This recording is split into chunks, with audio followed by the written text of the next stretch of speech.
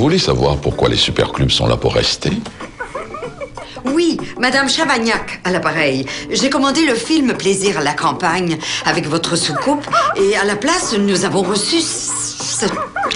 Si Madame Chavagnac était allée à son superclub, un conseiller l'aurait averti qu'il existe deux plaisirs à la campagne.